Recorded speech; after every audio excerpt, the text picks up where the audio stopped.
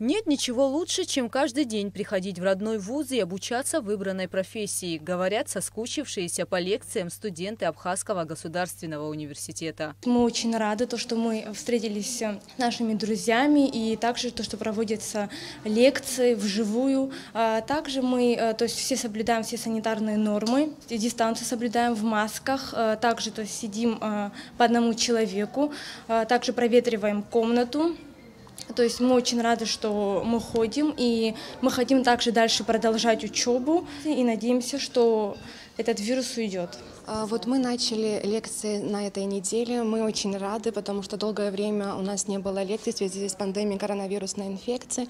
Поэтому очень рады встретиться с однокурсниками, с учителями, с нашими лекторами. В онлайн-режиме у нас была проведена, были проведены лекции, но это все равно не то.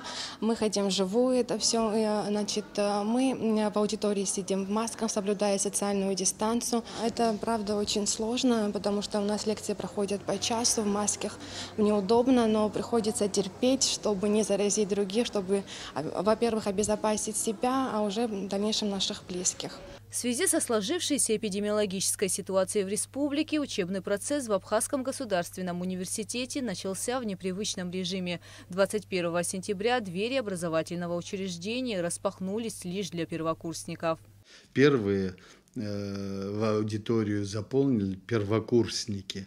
Э, их 620 человек, и это правильно, потому что в онлайн-режиме не научить э, первые курсы вузовским требованиям. Основа обучения которых по госзаказу или платно будет решаться по результатам экзаменов первого семестра. Экзамены будут принимать комиссии. Постепенно по составленному графику руководство университета стало приглашать на занятия и студентов других курсов. Чтобы избежать массового скопления, для каждого факультета и курсов организовано разное расписание. Важно отметить, что теперь студенты занимаются и по субботам, а некоторые переведены на онлайн-обучение. Есть группы старших курсов, историки, а также педагогический факультет, журналисты, экономисты и ряд других направлений, которые обучаются в онлайн-режиме.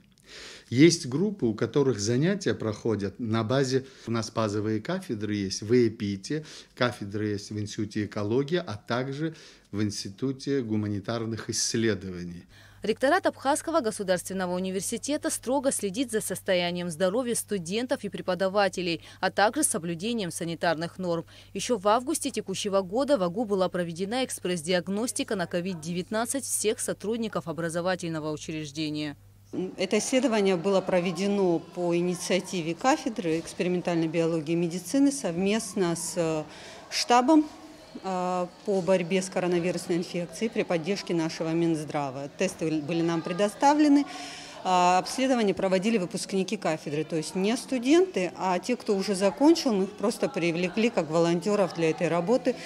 А, при обследовании коллектива, в принципе, активных форм выявлено не было. Но были выявлены люди, которые перенесли эту инфекцию. Ранее они не знали об этом, то есть подозревали, но точного подтверждения у них не было. В АГУ все еще остаются студенты, которые не приступили к занятиям, так как некоторые курсы сейчас находятся на самоизоляции. Гугуца Вардания, Тимур Гогохи, Абхазское телевидение.